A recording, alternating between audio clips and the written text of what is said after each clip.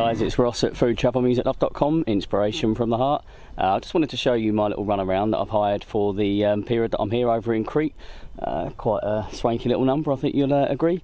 It's, uh, it's doing the job for me, just a little two-door Fiat, um, gets me around the island. Uh, it's about two hours to get to the other side of the island, I think. Um, that's why I'm going to be doing that in a couple of days. But I'm just having a little drive about now on day two. I'm heading out to a place called Sissi. Uh, no comments. We're going to go out and basically just have a little drive about, try and find a nice little tavern, and no comments on the hat.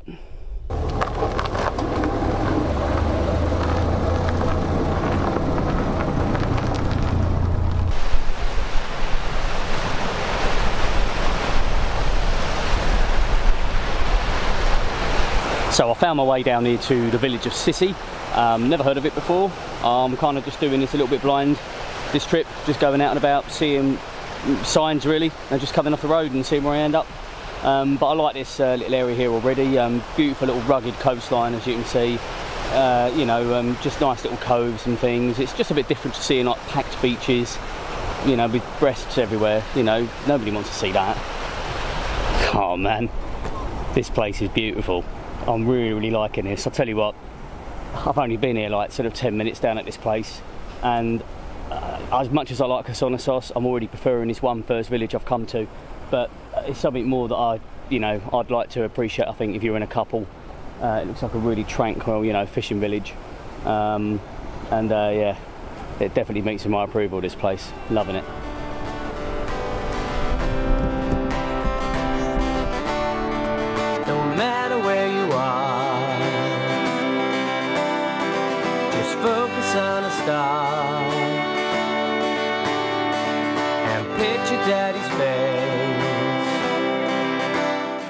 On the little entrance road now, just getting into Sissi, the little village.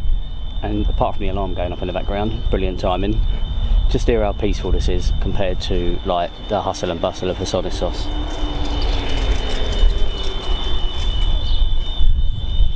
Could you ride your bike a little bit quieter, please, mate? I know the wait has been worthwhile, cause I have learned to live fight your battle so you won't get hurt. I'll take your fevers and I'll banish all your goats. But there's one thing that I just can't control.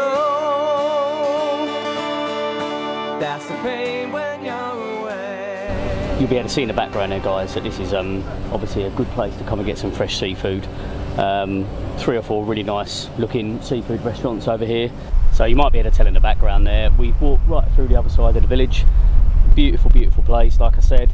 If I'm totally honest, um, I really, really like the place, but I think I could only be able to stay somewhere like this for like three or four nights maybe. Um, unless, definitely unless you were in a couple situation. So um, yeah, it's it's really really nice place. Lots of lovely little tavernas, fish places, uh, grilled meats, all the things you'd expect. And I didn't get any of it yet, so definitely time to eat.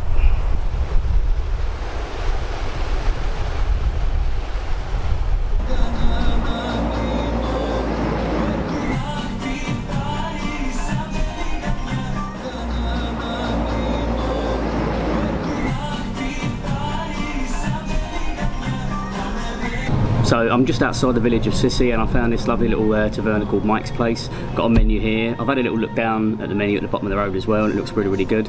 Although brilliant, the first time I sat down to actually have some food and do a little review, it might be about to rain, but hopefully not, hopefully not. It's interesting that it's called Mike's Place because that's kind of the kind of thing that you'd normally expect in like a Benidorm football pub. But no, it's proper traditional Greek looking stuff and uh, I'm looking forward to getting in set up by Mike in 1987, so that's why it's called Mike's. I think you guess that. Um, and this was only one of three restaurants in Sissi in 19 uh, in 1987. So um, shows how all these kind of little fishing villages have developed, you know, uh, which is a good and bad thing. You know, um, I'm sure a lot of the locals who just live here probably would quite like it to have just remained as it was, but there's always a flip side. It brings in a bit of tourism, a bit of revenue, uh, and we all need a little bit of that. Oh man, so looking through this, you got a range of like starters. It's like two pages of starters, uh, chip balls, um, olives, fried onions. I mean, I don't know what fried onions would be as a starter, just some fried onions. But you know, there's so much potentially here to choose. So they've got Cretan snails. I mean, if I was in France, I'd probably just have to go with that, but I might not give snails a go just yet. Cretan sausages. Hmm. I think I'm going to get two starters in, so as I get a taste and flavour for two different things. I think that'll be the way to do this. Oh, Cretan sausages. It's a sausage, but you know, I just want to see what Cretan style sausage means. If it means it's a sausage cooked in Crete, then it does what it says on the tin, I suppose. But you know, I think there's got to be some little variation to it, surely. Cretan sausage, and I fancy this um, Saganaki fried crumbed cheese. Yeah, that just sounds, you know, it, foreign. So we're going to have a little look in the kitchen and see just what they're coming up with. I would get through. I didn't think that I could win. Now I finally need to move on. And I can get the taste of love, the taste of love again. I didn't think that I would beat you. I didn't know it wasn't. So that was amazing getting access to the kitchen there. Uh, really nice owner here. I assume it's the owner's wife, or it could be Mike. You can't judge anyone anymore. Um, but uh, it looked great in there. Some lovely, lovely food that was there. It's like kind of slow cooking and getting ready for like dinner later on. Um, I think there was uh, artichoke and carrot. There was some roast chicken, some potatoes. One of them you can see there is kind of bubbling away in the oven, uh, ready for service. You know, it's probably busier later on. People could have it now, but just lovely to get access to it. A really nice, clean looking kitchen as well. Price uh, I'm not sure how this compares to other kind of tavernas. I've had a little nose at menus, but obviously haven't eaten here yet. Um, but compared to other Crete prices, it probably is on par. We're just outside of like a main little tourist village. It's only a village, not a main town or city. But um, these starters are kind of between like three and six kind of euro each, depending on what you're having. So, you know, not too bad, I don't think. Some of the mains are like kind of uh, eight or nine euros. And obviously, if you have like the fresh fish, because you see there's some lovely fresh fresh fish that came straight out. I've got to try a bit more fish. I need to get a little bit more fish into my diet, I think. Um, and you know, just going down to the chippy don't count. I don't think really. If you're chucking it in a load of batter, you got to have fish as it is. You know, straight out of the sea into the mouth. You know, I mean, the fish might not see it that way, but I think that's the best way to do it. Me and Greece don't always go that well hand in hand um, because the mozzies uh, are all over me, um, unlike the local ladies. So the sun is coming on and off gradually because it's raining and sunny all at the same time. We do try and be um, as unbiased as possible, and I don't like to just bang on about something if it's not that great. Like the hotel I'm staying at, the Sun and Sea Apartments, for a real budget place, I'd say yeah, go for it, go for it. But to be honest with you, uh, there's a bit of a list. The hot water rarely works. That sometimes the water doesn't work at all. Um, the fridge freezes things, so I have to leave the fridge door open. Um, there's quite a lot of ants that are there all the time, but you know the upsides are you got access to a nice pool. Uh, the people are really nice there, and it was only 140 quid. So you know for 12 days, ultimately you get what you pay for, don't you? So they said that they grow everything uh, on their own farm, like the olive oil and things. Everything is produced by themselves here, which is a fantastic sign. I really, really like that. That's the sort of place I go to. I will walk around for two hours around a village or a town to get to a place like that, as opposed to just going to a standard high street restaurant. Uh, smashing, thank you. Thank, thank you very much. Thank you.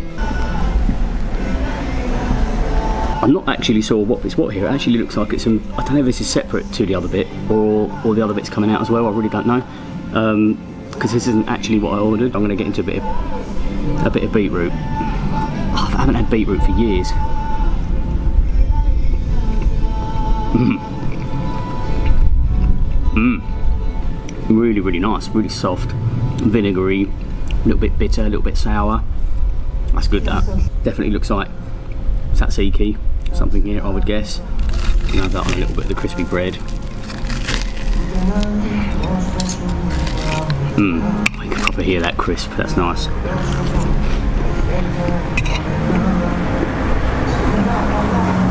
Mmm.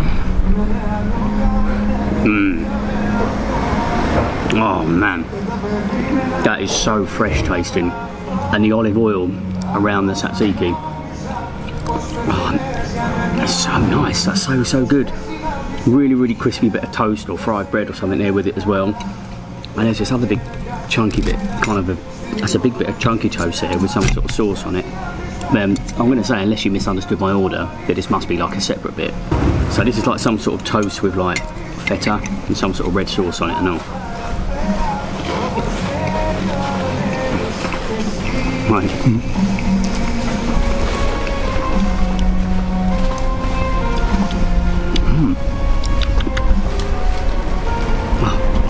I'll say that. Oh, mm. really nice aftertaste to that. I'll just say hello to the chap who's coming past. That might have been like he had loads and loads of produce in his hand. He's obviously just been to the farm and the shop and got everything in. Ah, yes.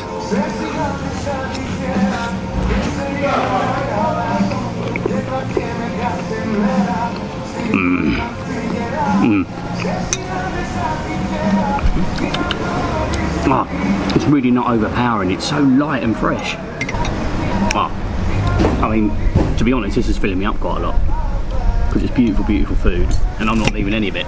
So even if there is more coming, uh, well, bring it on. To be honest, bring it on. Ah, here we go. Here we go, guys. That was lovely as well. Ah, Two fantastic. different style, Cretan Greek cheese and feta cheese. I put Ah, it's fantastic. try, okay, right? excellent. Thank you.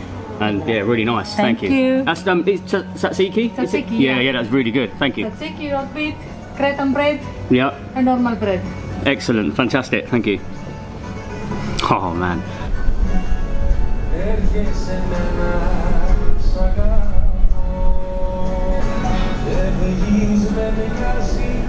This place gets better and better as the uh, afternoon goes on.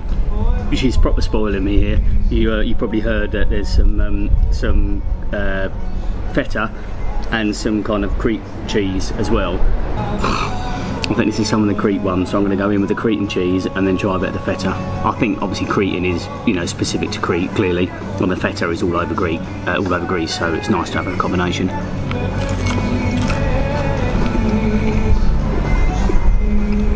Oh.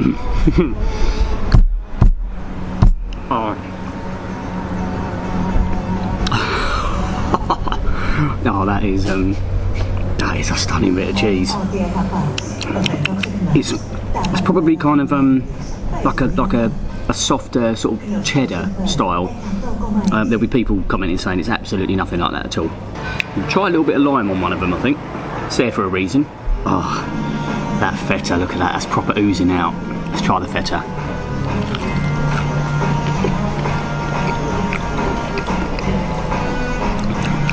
Mmm. Oh, that goes so well with that little bit of lime, just a touch of lime on there. That's fantastic. I'm going to give the sausages a go while they're there because they're hot. Hello. Alright? Oh, that looks. okay, thank you. This is potatoes and carrots as well come out now. Look, um, I won't be eating for another week. She brought me out a little sample of the uh, carrots and potatoes as well. I don't know. I don't know what to do. Right.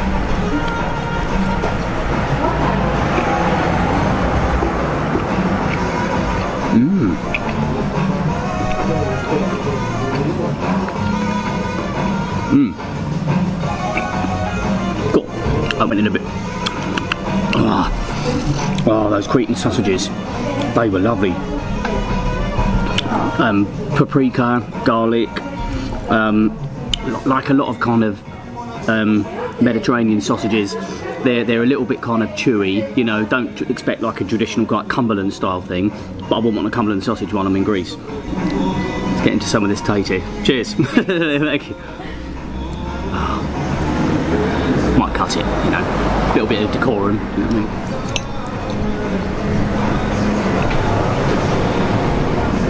Mm. Oh, beautifully, beautiful, beautiful, soft, soft tatey going on there. this is just uh, an absolute feast of food here. I've definitely now got to sit and eat all of this, haven't I? Because it would be proper rude not to. And you know what? I'm going to enjoy every single mouthful of it. Get yourself down here to Mike's Tavern, just outside Sissi. It's it's perfect. It's stunning.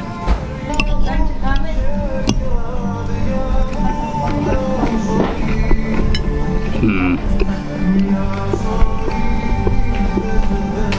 The thing with the sausages, you got to have a good balance of you know, textures, cereals, whatever else they put in. But sausage has got to have a bit of natural fat. If I'm at home, I do often go for like the lean sausages, the fat-free ones. And to be honest, they're absolutely pony. Sausages like this are how they should be done. You've got to have, you know, a good sort of 20-30% fat at least. If you've seen my other videos, you know I like to try and try a little combination of two things together, especially if it's like chutneys and a cracker or cheese and a spicy sauce or something, you know, you need to really see how these things go. Um, so I've got to try some of the tatey there that's got some of the, um, the nice little uh, locally made olive oil with one of these Cretan sausages.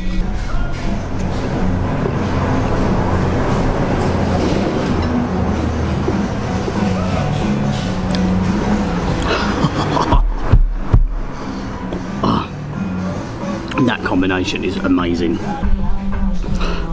This is nearly beating me, this. It was only a starter, but oh, I forgot I had that first bit as well, didn't I? Artichokes, potatoes, sausage, two types of cheese, salads, all the, the tzatziki, the toast, the bread, the beetroots, brilliant. The boss. Oh, okay. Hello. You're right? You're welcome. One of them. Speciality. Orange Ah. shake. Oh, wow. pie. Oh, Milk from the goat. ah, okay. Fantastic, fantastic. Orange. The hot made shake. Oh, okay. Fantastic, that looks beautiful. and in there we got milk from the goat. Yeah. So there we just met, that was the owner, Mike, and a lovely looking homemade Colliver orange cake. And they had milk there straight from the straight from the goat. Um, it's fantastic seeing food being produced this way. Uh, you've got to get yourselves out of Nando's, get out of McDonald's, and get some proper good local grub down here every day, all day. Amazing, amazing. Well, guys, I think this has pretty much beat me now. I've literally had nearly all of it, like everything that I could possibly get down me. It's been a fantastic experience. I'd already said I'd fallen in love with Sissi before I even found this place, and you know it's it's proper honeymoon feeling. This is this is amazing, beautiful place. If you get over to Crete, come and find Sissi. It's just up the road from um, Malia and Hersonissos. It's only about 25 minutes away from there. Um, a really quiet little village, and definitely get yourself into Mike's Tavern. Hello, my friend. Uh, ah, okay. Thank you. This. Orange shake and the milk from the fresh milk. Ah, okay. This is this is what um, was shown in the. yeah. Yes, of course, my friend. And this is. Liqueur on the rosa, the flower. Ah, wow, wow. Okay. It's very, very nice. Oh, this is a beautiful little um, kind of sample of the uh, kind of the the milk. Kind of, I think that's that's obviously some of the orange cake, and this is like um, I don't know, kind of is it just milk put into a oh, like a milk cake.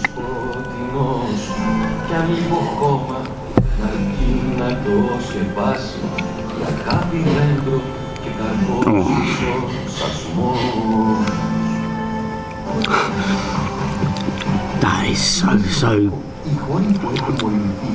oh, so delicate. Beautiful, beautiful, subtle flavours there. I'm going to try a little bit of this orange cake. That kind of that's kind of like um really thick kind of milk into like a little milk cake. I think. Um, this oh that smells really nice. I know this is going to be good. It's soft and moist to touch.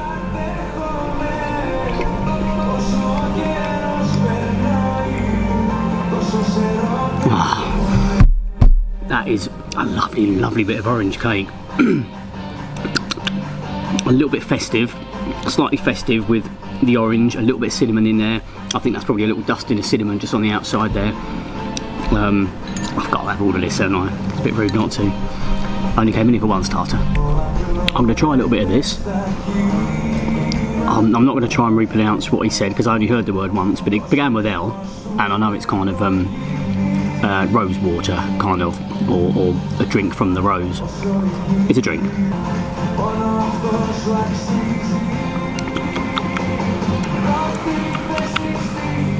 That's Turkish delight. Turkish delight in a glass.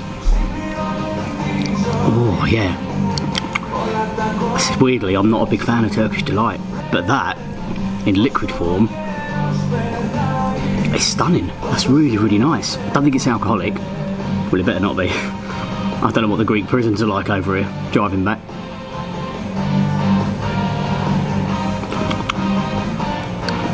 Although it has got, it's got a strong flavour, but I don't think it's alcoholic. I don't, I don't think it's alcohol. Mm. The last mouthful of food here at Mike's place in Sissi, and it's been an amazing experience. Rapaz. super soft. Ah, amazing, amazing stuff.